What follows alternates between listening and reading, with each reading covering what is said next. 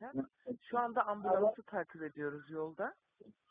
Evet. Ee, bir ulaşsın sonra sizi arayacağız. Tam E, tamam Heval bizim bur burada herhangi bir ses yok yani. tamam tamam. Şu anda ambulans Tamam. ulaşınca ben sizi arayacağım. E, bilginiz olsun hiçbir ses yok. Tamam. Alo. Heval ben kulaklarım kötü ben duymuyorum. Kulakların kötü. Şu anda sesimi alıyor musun? Çok az arıyorum. Çok az bağırıyorum şu anda. Bak bağırıyorum.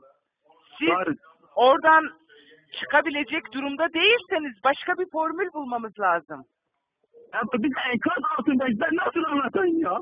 Tamam, tamam, tamam. Çıkabilecek durumda değilsiniz yani. Enkaz altındayız. Tamam. Enkaz. Tamam, tamam. Ee, telefon açık kalsın, açık kalsın. Çıkamıyorlar, çıkamıyorlar. Ses kesildi mi polislerin sesi? Ya buradadır. Sesler. Buradadır Kapı- koridorda. hemen sizin çıkacağınız kapının önündeler. Evet evet içeride. İçerideler. Ha. Yani belki sizin sesinizi de duyuyorlar. Yani telefon Duysunlar, açık ya zaten. duysunlar, duysunlar. Yani İç- İçişleri Bakanlığı da yanınızda mı? Ha? Şu anda o telefonun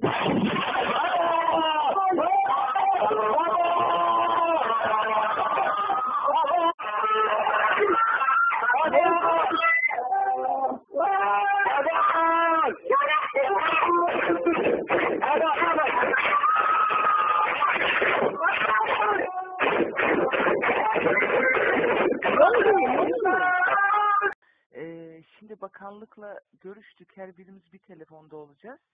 Siz Evet. şimdiden hazırlıklarınızı yapın.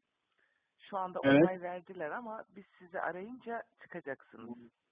Şu anda Tamam. siz hazırlıklarınızı